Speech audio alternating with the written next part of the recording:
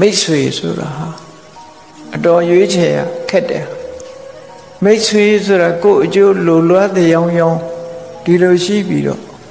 မကောင်းတဲ့ဘက်ကိုခြောက်တွန်းတတ်တဲ့မိတ်ဆွေမျိုးတွေကလောကမှာအလွန်များတယ်ဒါကြောင့်မို့ပေါင်းတင်ဆက်ဆံရေးဟာတန်တရားထဲမှာကိုကျိုးနဲ့သွားနိုင်တယ်လို့ကောင်းတဲ့အပေါင်းအသင်းတွေနဲ့ပေါင်းသင်းလို့ရှိရင်လည်းပဲတန်တရားဝဆင်းကလွတ်ပြီးတော့နိဗ္ဗာန်ရောက်သွားနိုင်တယ်အကျိုးတရားတွေကိုရ အဲ့တော့ဘဝမှာအပေါင်းအသင်းကြောင့်လည်းပျက်စီးနိုင်တယ်အပေါင်းအသင်းကြောင့်လည်းပဲကောင်းကျိုးချမ်းသာတွေရနိုင်တယ်ဒါကြောင့်မို့အပေါင်းအသင်းပေါင်းတဲ့အခါမှာဘာလဆိုတဲ့အတ္တပုရိသတွေကိုရှောင်ရှားလို့ပဏိတလို့ဆိုတဲ့တပ်ပုရိသတွေကိုပေါင်းသင်းကြရမှာဖြစ်တယ်အဲ့ဒါလို့ပေါင်းသင်းမှသာလေအခုဘုန်းကြီးတို့တွေဘုရား